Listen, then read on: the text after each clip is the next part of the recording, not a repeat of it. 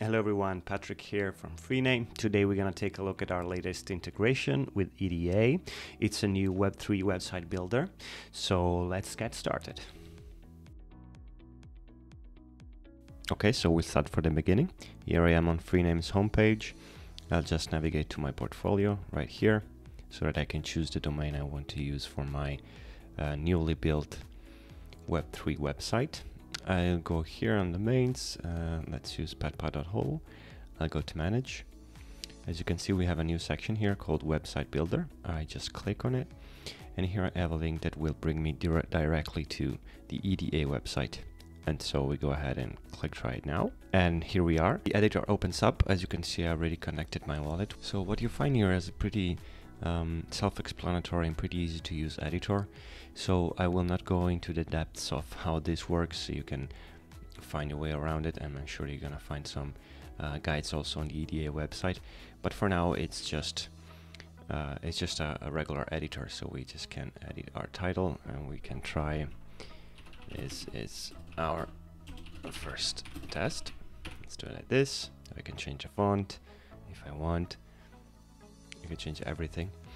Uh, can add section, add images. So from this point on, um, once you've done modifying and creating your website, we'll go ahead with the next step. Okay, so here I am. I finished up my website with all my uh, TLEs. It's just a simple page, so uh, it depends on what you built. And at this point, we just have to go ahead and complete it uh, by publishing. As you can see, we'll bring you to the EDA checkout page. At this point, you will have to choose whether you need a hosting or if you can host it yourself. In this case, I'm just gonna go ahead and buy myself some space. So here we are, the date, the time frame for the publishing, and then I just go ahead and pay with my wallet. At this point, you're gonna have a few informations here. So so as you can see here, I have a few information here, so let me get it through it. The first one is just the confirmation that our website was successfully uploaded.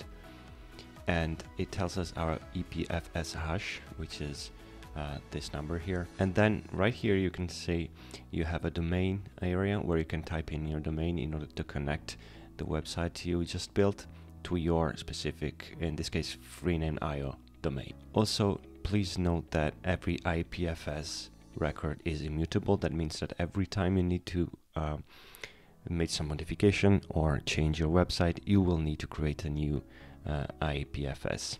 So what if you want to see and use actually your website, you want to visit your website via your Freename domain. Here I have our a browser extension, which allows us, of course, to visit any Web3 domain. I'll just go to browse and type in eternal digital asset of Freename, which is the domain I just used. Freename.io. Go.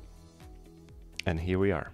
It is a quite simple website, but it is just to show you the potential of this editor and show you how easy it is to connect it to a Web3 domain, just like so. Thank you for watching, and we'll see you on our channels as usual. Until the next one.